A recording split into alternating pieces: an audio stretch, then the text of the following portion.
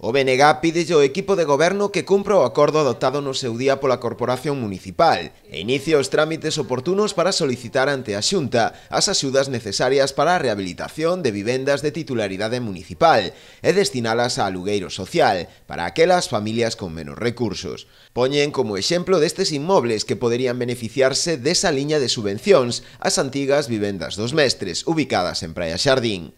Os nacionalistas pídenlle tamén ao Executivo que valore a posibilidade de aderirse ao programa de vivendas valeiras da Xunta, no caso de que esta sexa a opción máis ventaxosa para o Concello.